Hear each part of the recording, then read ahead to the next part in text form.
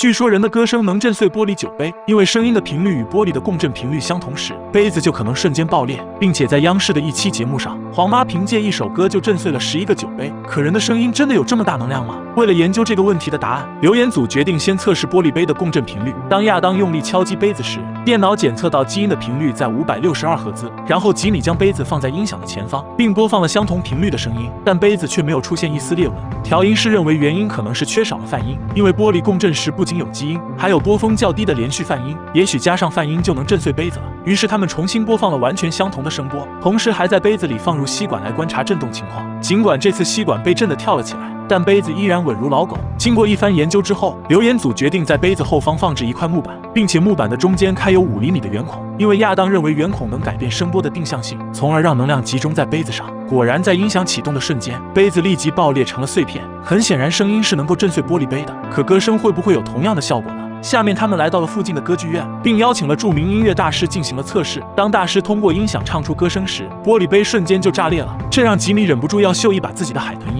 但他杀猪般的惨叫声不但没能让杯子裂开，甚至还差点让亚当口吐白沫。大师表示可能是音调没把握好。于是经过大师的培训之后，亚当也进行了尝试。意外的是，这次玻璃杯同样破碎了。可见，只要控制好频率的高低，声音就能震碎玻璃杯子。那如果直接用嘴巴发声，杯子又会不会破裂呢？接下来，大师拿起杯子开始清唱，但很明显，相较于音响的大功率震波，嘴巴发出的声音能量要小很多，以至于大师换掉了十二个玻璃杯也没能成功。可就在吉米都要打瞌睡的时候，玻璃杯竟然奇迹般震碎了。而通过仪器显示，此时大师的声音达到了一百零五分贝。所以只要把握好发音的频率和大小，人声是可以震碎玻璃杯的。据说，当你们的老板在高速上开车睡着时，我们可以通过超车减速的方式逼停他的汽车。但这样真的不会让老板走得更快吗？为了验证这种做法是否会导致车毁人亡，留言组决定亲自进行尝试。于是他们来到了当地的空军基地，但在正式实验前，他们需要接受驾驶训练，以免在撞车过程中当场开席。而负责培训的是这位姓王的老司机。首次训练，他们让凯莉来。充当睡着的老板，而老王会指挥格兰从旁边超到前面，并通过刹车迫使凯莉的车停下来。随着格兰的不断减速，凯莉很快就顶上了他的屁股，然后两辆汽车都平稳地停了下来。为了应对可能的突发情况，之后老王提高了训练难度，他将开车撞击前车的后挡泥板，看凯莉能否成功化险为夷。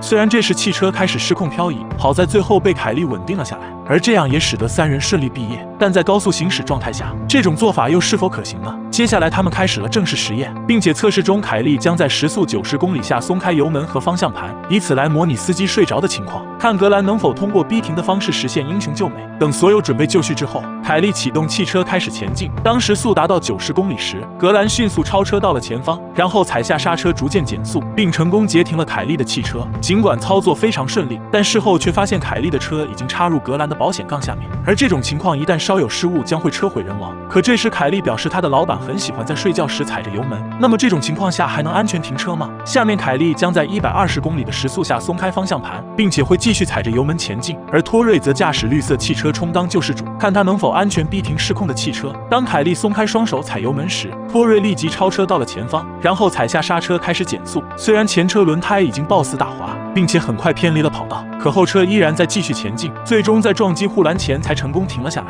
显然，用碰碰车的方式可以逼停失控汽车，但这样的做法很可能导致更严重的事故。为了找到更加安全的截停方法，留言组决定尝试两车夹击的方式截停汽车，同时凯莉也将一直踩着油门。很快，三辆车以同样的速度撞击在一起。尽管最后成功停下了失控汽车，但格兰的车却出现失控打滑的现象。于是他们再次升级了实验方案。格兰在保险杠处安装一条横杆，这样就能在不接触的情情况下截停失控汽车。而老司机托瑞则在车前增加了一个尖锥，一旦插进失控汽车里。就会放下铁钩，从而达到降速停车的目的。但这两种方案到底哪个才是最合适的呢？首先是格兰的横杆方案，虽然碰撞产生了剧烈的颠簸，但汽车总算没有失控，并且三人还能完整从车里爬出来。最后测试的是托瑞的大铁棒，他已经迫不及待要插入凯莉的车屁股。当凯莉松开双手之后，托瑞就一脚油门冲了上去，直接戳进前车的后备箱，并释放了铁钩，然后踩下刹车，让凯莉的车缓慢停了下来。很明显，这两种才是最安全的截停方式，但现实中是不允许这样改造汽车的，所以大家千万不要随便尝试。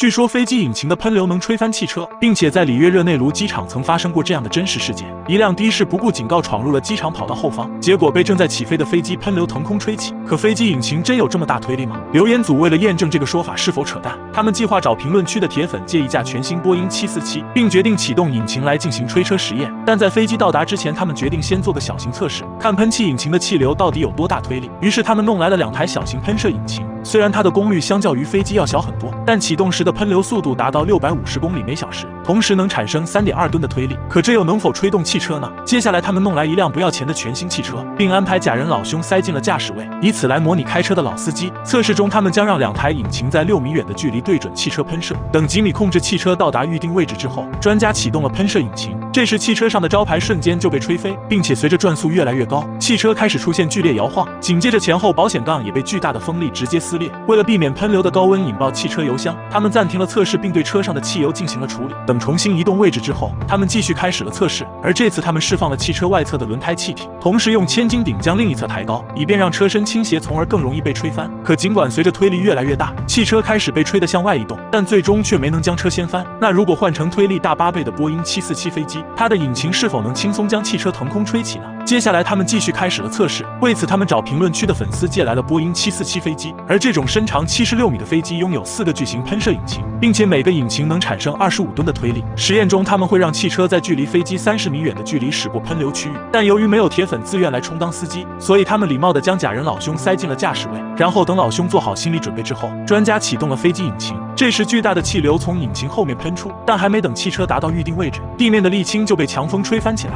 他们只能暂时关闭了引擎。然后清理好地面后，再次开始测试。当引擎到达最高转速时，汽车被缓缓拖入喷流中。可下一秒，整个车身就被腾空吹起，并连续翻转几圈后落在三十米外的位置。而假人老兄也在留言组的狂欢中拧断了脖子。可见飞机引擎的喷流威力确实能轻易吹翻汽车。那如果换成更重的校车和不要钱的私人飞机，实验结果又会不会改变呢？接下来，他们将校车结构进行了加固，然后贴心的为老兄系上了安全带。可当校车刚进入喷流区域的瞬间，十几吨重的车身就被吹起两米多高，随后。同样翻滚了几圈后，摔成了一堆废铁，现场状况简直惨不忍睹。而可怜的老兄也变成了铁包肉。最后上去送死的是私人飞机，而他还没进入喷流中心，就直接栽了个大跟头，并且被推出了几十米远。那如果让你站在飞机喷流后方，你又能坚持几秒呢？据说，如果在充满煤气的房间里开枪会引发爆炸，但只要将牛奶放在枪口前，就不会引爆气体，因为牛奶能熄灭开枪时产生的火焰，并且在电影《精纯洁》中，摩根·弗里曼就利用这个原理，在充满瓦斯的房间中击杀了歹徒。可牛奶真的有熄灭枪火的效果吗？为了验证这个说法是否扯淡，留言组决定还原电影中的情节。由于房东不允许他们做这样的实验，所以他们只能用木头打造一个简易厨房，并且房间的正面为可翻转的透明设计，以便观察内部气体的燃烧情况，同时还能释放爆炸的气压。之后，三人在爆炸试验场搭建好了房间，但因为找不到志愿者扮演歹徒和警察，他们只能礼貌地请出假人老兄进行代替。之后，凯莉把手枪固定在支架上，并且枪口对准了牛奶瓶。而格兰则在旁边安装了点火装置，同时托瑞用输气管道连接好房间与气罐。由于甲烷的最佳爆炸浓度为百分之十，所以实验中他们将在这个浓度下进行开枪。等一切准备就绪之后，他们拧开阀门，开始冲入甲烷气体。当甲烷浓度达到百分之十时，凯莉拉动了开枪的绳索。In three, two, one.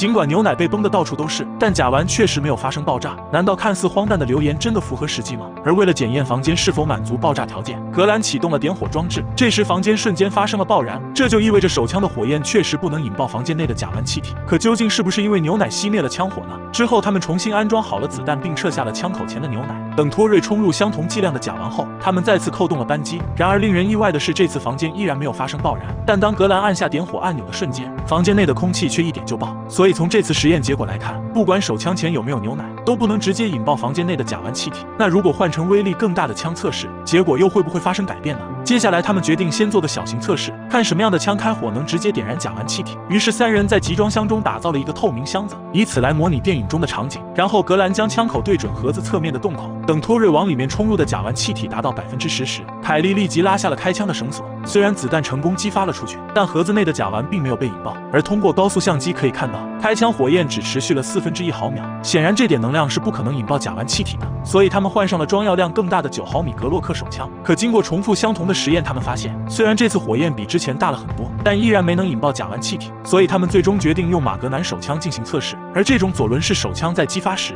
会有大量火焰从枪口和转轮间隙喷出。可这样又能否成功引发甲烷爆炸呢？然而出乎所有人意料的是，结果还是以失败告终。尽管这次的枪火已经非常明显，但是依旧没能引爆甲烷。为了实验的继续进行，他们只能将甲烷换成氢气进行测试，因为氢气被点燃所需的能量只有甲烷的十五分之一。而当凯莉拉动扳机的瞬间，剧烈的爆炸吓得几人连连后退。这次枪口的火焰终于引爆了可燃气体，可牛奶真的能阻止这样的爆炸吗？随后他们重新制作了模拟厨房，开始正式实验。不同的是，这次他们在房间内安装了两把手枪，并且在其中一把枪口前放置了牛奶。等托瑞往里面冲入好氢气之后，凯莉激发了被牛奶堵住的手枪。In three, two, one.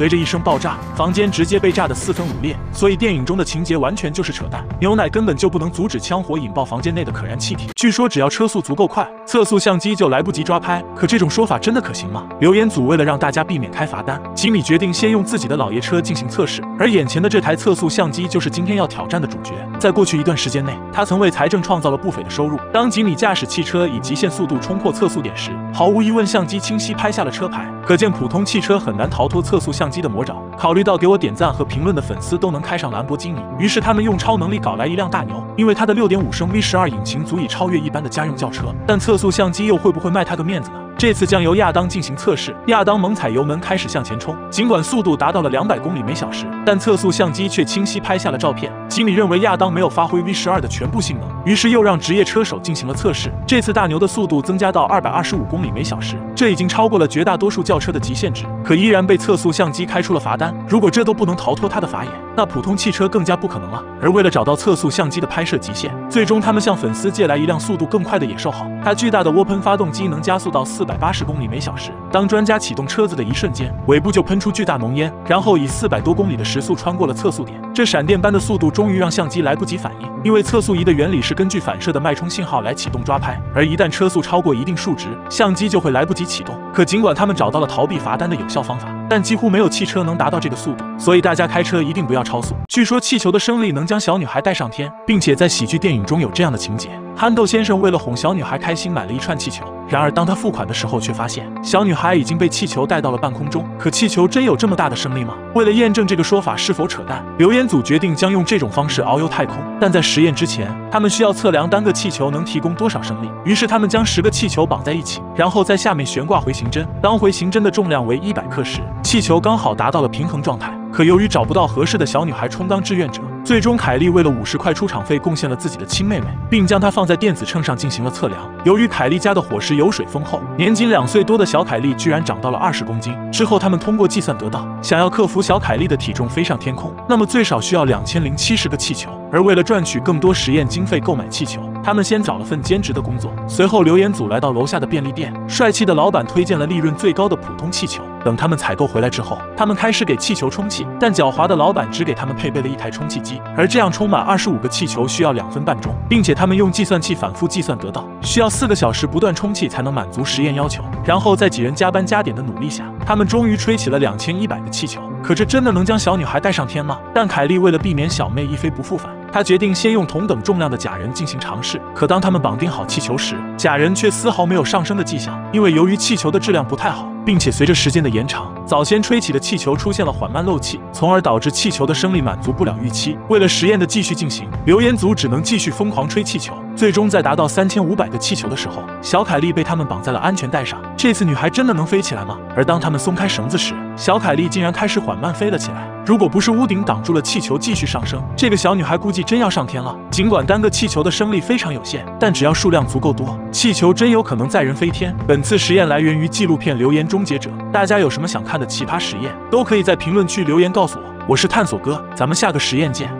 据说有个大聪明，为了越狱，他将塑料膜铺满整个房间，然后往积攒十年的泡腾片上倒满了水，结果产生的二氧化碳直接撑破了牢房。可促进消化的泡腾片真能实现越狱吗？为了验证这种做法的可行性，留言组决定先测试泡腾片能否产生足够的二氧化碳。于是两人组装了一套测量装置，当泡腾片掉入水中时，产生的二氧化碳会将锥形瓶中的水压到烧杯中，而通过测量水的体积就能得到二氧化碳的多少。吉米首先将一颗泡腾片丢进水中，等它完全反应之后，他们得到了八十毫升水。那么两颗泡腾片会不会产生一百六十毫升气体？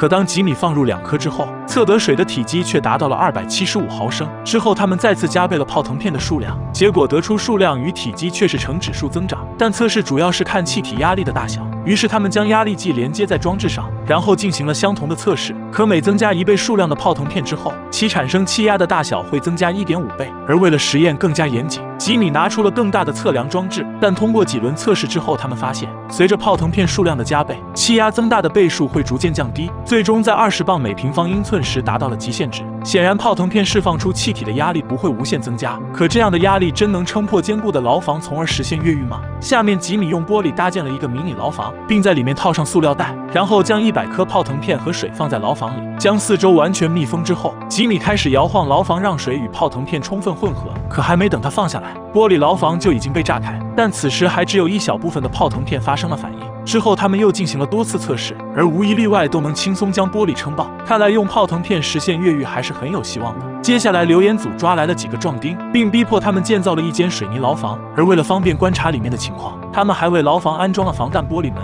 同时保证整体比一般牢房更加坚固。随后，吉米通过勾股定理计算得到，假设囚犯每餐可以偷藏两颗泡腾片，那么十年就能收集二点二万颗。可这个数量的泡腾片真能炸开水泥牢房吗？接下来，亚当将压力计安装在墙面上，然后他们在牢房内粘满了塑料膜。由于没人愿意尝试充当志愿者，他们只能象征性的用假人老兄代替。但由于产生的二氧化碳会使人中毒，所以两人将假人安排在塑料膜的底部，这样也许还能正常的呼吸。之后，他们把二点二万颗泡腾片倒在了地上。等所有人躲在安全位置之后，他们打开了水管的阀门。可当他们注完计算好的水量时，压力计依然没有丝毫反应。同时，在外面还能闻到奇怪的气味。两人认为塑料膜存在漏气，于是他们暂停了实验，并且将牢房重新进行了装修。为了让反应更加剧烈，吉米在屋顶安装了更大的水管。由于手上没有更多的泡腾片，他们在浴缸中倒入了小苏打进行代替，而剂量加起来相当于十万颗泡腾片。刚开始，他们先注入了少量的水，此时压力计开始出现了摆动。